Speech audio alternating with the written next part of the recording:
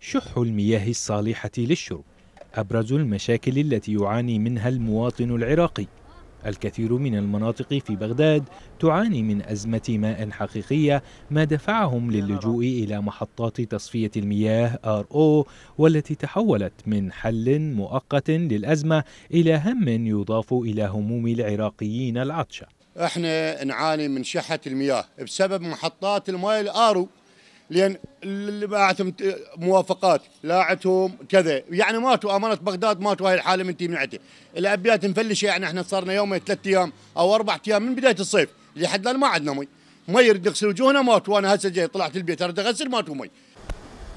ومع تقاعس السلطات عن تزويد السكان بالمياه العذبة المأمونة الكافية ازدهر القطاع الخاص للمياه بعد أن شجعت السلطات على حيازة محطات التحلية والتصفية بالتناضح العكسي RO والسيارات الحوضية لنقل المياه.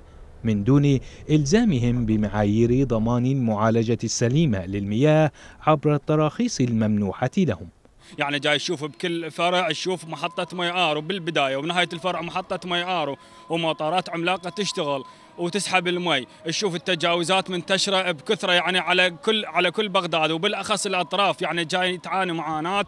يعني المواطن أصلا مي ما يوصل له من خلال هاي التجاوزات. فأريد من أمانة بغداد تخلي حد لهاي المسألة على التجاوزات ومو بس على المي مال تصفية المياه. كما أخفقت السلطات في ضمان ربط جميع السكان بشبكة المياه والصرف الصحي ما شجع الأسر المستثناة من الشبكة على استغلالها بشكل غير قانوني. يعني جاي نشوفه يكسر البوري ويطلع بورة واحدة وياخذ مي ويسحب وبكيفه ولا أكو رقابة لا أكو آه، جهة مسؤولة عن هذا آه، عن هاي المحطات تراقبها من تجيب المي وين توديه. يعني ليش هيك إحنا؟ المناطق هاي مناطقنا ما بيها مي من وراء هاي المحطات مال التصفيه السلطات الحكومية أقرت بالتقصير والفوضى العارمة التي باتت تحيط بملف محطات تصفية المياه.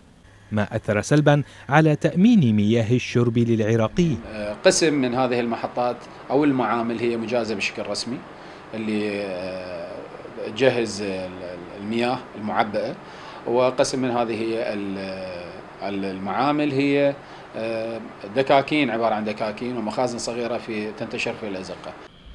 ويعاني العراق منذ عام 2003 من حكومات أساءت إدارة موارد المياه وأهملت البحث عن الحلول المناسبة للأزمة. حتى بات حصول المواطن على ماء الشرب أحد جوانب معاناته وأحد أجمل أمانيه